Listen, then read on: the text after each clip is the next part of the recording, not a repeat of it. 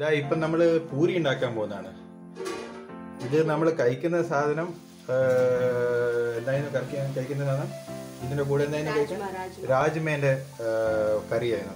ആരും രാജ്മേന്റെ കറി കാണാത്ത ആൾക്കാരാണെങ്കിൽ ആദ്യത്തെ വീട്ടിൽ പോയിട്ട് കണ് കണ്ടോളണം. ആ പൂരി ഉണ്ടാക്കുന്ന എങ്ങനെയാണ്? ഇത് നല്ല പൊന്തി പൊന്തി വന്നിട്ടുണ്ട് പൂരി. ഇന്ന് എക്സ്പീരിയൻസ് വഴി ഇത് എങ്ങനെയാണ് ഉണ്ടാക്കേണ്ടത്?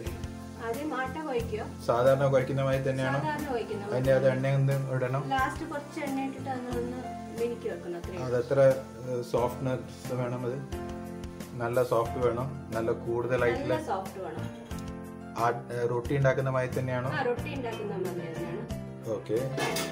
ഇതൊക്കെ സോഫ്റ്റ് ഉണ്ടാവും. സോഫ്റ്റ് ആയിട്ടുള്ള പൂരിയാക്കി അല്ല ഡോ ഉണ്ടാക്കി. അത് അത് കുഞ്ഞു കുഞ്ഞു ബോൾസ് ഒരു ചെറിയ നാരങ്ങന്റെ വലുപ്പത്തിൽ എടുക്കണം. ഇത് എത്ര നേരം വെക്കണം? അല്ലെങ്കിൽ ഇമ്മീഡിയറ്റ് ഉണ്ടാക്കണം. അത് കഴിഞ്ഞിട്ട് എണ്ണയിൽ ഒന്ന് ഡിപ്പ് ചെയ്യാം. എണ്ണയിൽ. ഡിപ്പ് ചെയ്യുന്നത് എണ്ണ അധികം ചൂടായിക്കൊണ്ടിരിക്കുന്നുണ്ട് എണ്ണ ചൂടുണ്ടാവണം. എന്നാലാണ് പൂരി നല്ല ഇതായിട്ട് വരും. ഓക്കെ പൊളിച്ചുകൊണ്ടിരിക്കണം ശരി. നമ്മൾ ഉപയോഗിക്കുന്ന എണ്ണ പിന്നെ ഞാൻ പറഞ്ഞേക്കാം. റിഫൈൻഡ് അല്ല.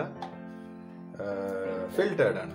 ഓക്കെ നമ്മൾ ആട്ടപ്പൊടിയിലല്ല ചപ്പാത്തി പരത്തുന്നത്. പരത്തുന്നത് നോക്കിക്കോളൂ എല്ലാവരും. എങ്ങനെയാണ് പരത്തുന്നത്? ഈ എണ്ണയിലൊന്ന് ഡിപ്പ് ചെയ്തിട്ടാണ് പരത്തുന്നത്. മറ്റേതാണെങ്കിൽ ആട്ടപ്പൊടിയിലാണെങ്കിൽ അതിന്റെ പൊടിയെല്ലാം പൂരിയുടെ വിലയുണ്ടാവും ഓക്കെ എന്നിട്ട് വെരി ഗുഡ് ഹൈ ഫ്ലെയിമിലാണ് വെക്കുന്നത്. നല്ല പൊന്തി പൊന്തി വരുന്നുണ്ട്.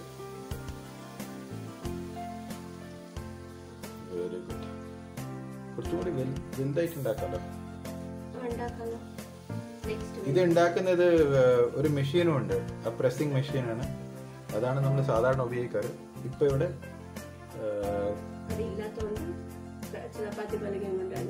അഡ്ജസ്റ്റ് ചെയ്യുന്നത്. ഓക്കെ റെഡി ആയി കഴിഞ്ഞു. രാജ്മയുടെ കൂടെ നമുക്കിത് കഴിക്കാം. ഒന്ന് വലുതാക്കി. ഒന്ന് വലുതാക്കാം കുറച്ചും കൂടി വലുതാക്കാം. കുറച്ചും കൂടി വലിയ സൈസ് ഓക്കെ. ഇത് ആട്ട തന്നെയാണ് അല്ലാണ്ട് മൈദയല്ല. മൈദ മാവോടെ അല്ല ഉണ്ടാക്കുന്നത് ഇത് ആട്ട മാവോട് തന്നെയാണ് ഉണ്ടാക്കുന്നത്. വീറ്റ് ഫ്ലോർ മൈദയാണെങ്കിൽ വൈറ്റ് ആയിട്ട് ഉണ്ടാവുക. നല്ല റൊട്ടീന്റെ സൈസായി മാറിയല്ലോ.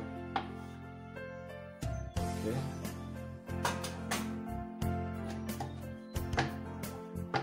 നല്ല ചൂടുള്ള എണ്ണ. ഇത് എണ്ണ ഒന്ന് ഹൈ ഫ്ലെയിം ആക്കാം.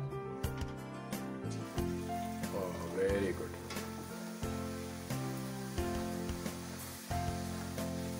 പൊന്തി നല്ല പൊന്തി പൊന്തി വന്നു. ഓക്കെ